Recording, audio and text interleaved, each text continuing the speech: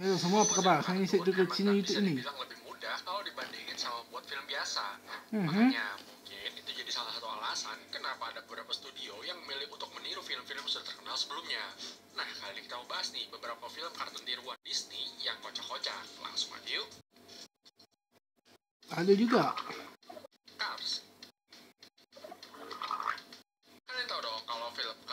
Ini adalah salah satu film kartun terbaik yang pernah diciptakan sama Pixar.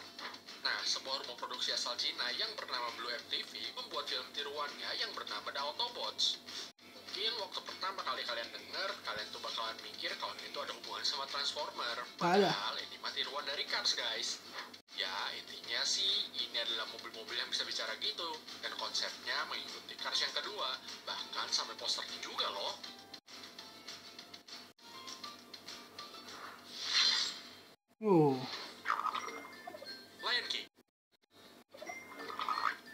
Film satu ini bisa dibilang sih adalah salah satu film legendaris Disney yang terkenal banget. Nah, The Winston Company, rumah produksi independen asal Amerika, membuat film yang katanya sih bukan niru, tapi mirip banget sama Lion King.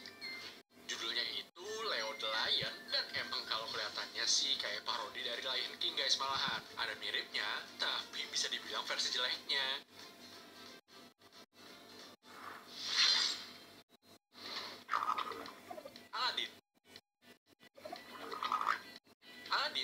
Adalah salah satu kartun Disney yang ikonik banget. Tapi masih ada juga loh guys yang berani niru-niruin.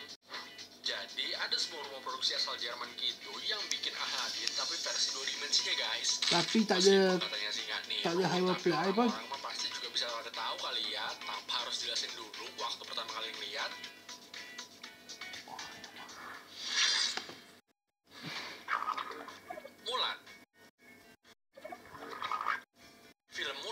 Mengisahkan princess Disney yang berasal dari Cina gitu guys Nah, tahu nggak kalian kalau ada film tiruannya yang dibuat sama rumah produksi asal Cina bernama Hong Ying Animation yang berjudul The Secret of Mulan Cuma bedanya semua karakter dalam film Mulan yang ini itu pada serangga-serangga semua guys serangga. The Frog Prince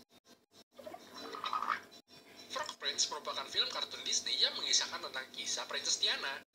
Nah, ternyata ada nih guys, rumah produksi lain yang ngebuat tiruannya. Cuma animasinya itu bisa dibilang masih jauh lah kalau dibandingin sama buatan Disney. Mesti murah ni. Hmm, biasa-biasa orang cakap bukan senang nak buat kartun. Ngeliat film tiruan tadi, yang ada malah ketawa gak sih guys? Lucu-lucu gitu soalnya. Ya udah, segitu dulu aja video kali ini. Jangan lupa Banyaknya saya pandai buat kartun tapi saya pilih kaca lais sebab saya tak pandai melukis yang saya tak tahu nak lukis. Pilih kaca lais lebih senang. Okey, itu saya cakap terus gatuk. Baik. Kalau anda nak buat kartun, lebih anda download dalam kaca lais ataupun nama web yang boleh buat kartun sini. Okey, itu saya cakap terus gatuk. Baik.